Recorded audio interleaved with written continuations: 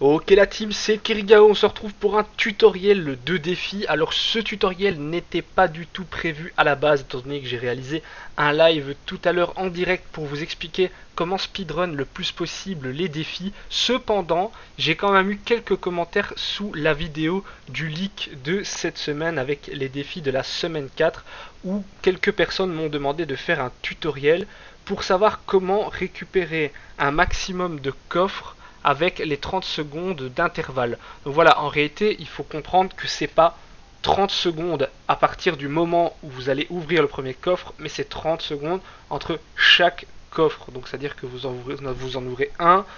puis il y a 30 secondes, le deuxième, 30 secondes, puis le troisième, et là voilà, votre défi il est clôturé. Donc il existe un spawn bien particulier pour y arriver. Donc ce spawn il se trouve à Lazy Lagoon malgré que pour ceux qui ont suivi le live ont vu que je l'ai fait à Retairo ou Salty Spring, je ne saurais plus vous dire sur le coup, le meilleur spawn reste quand même celui de Lazy Lagoon, parce que sur le bord de plage, il y a parfois un endroit où il y a trois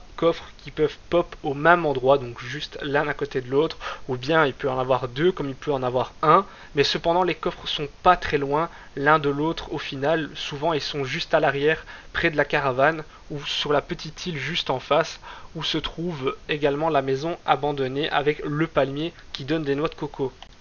Donc l'emplacement se trouve à l'endroit exact où j'ai placé mon ping bleu, donc c'est tout simple, il suffit de s'y rendre, les trois coffres sont l'un à côté de l'autre, ou bien il y en a un sur la petite île comme je l'ai dit, ou tout simplement sur la gauche de l'endroit, donc derrière où il y a la caravane, dans le côté jungle on va appeler ça. Donc voilà en tout cas j'espère que ce tutoriel vous aura plu, et en tout cas si jamais vous avez encore un problème sur un défi, n'hésitez pas à laisser un commentaire sous cette vidéo, je me ferai un plaisir de vous faire un tutoriel pour le résoudre au plus vite pour vous. Donc encore une fois, lâchez un maximum de likes, n'hésitez pas à vous abonner et à activer la petite cloche. Je vous dis à la semaine prochaine pour les défis ou à bientôt si vous avez encore besoin d'aide. Ciao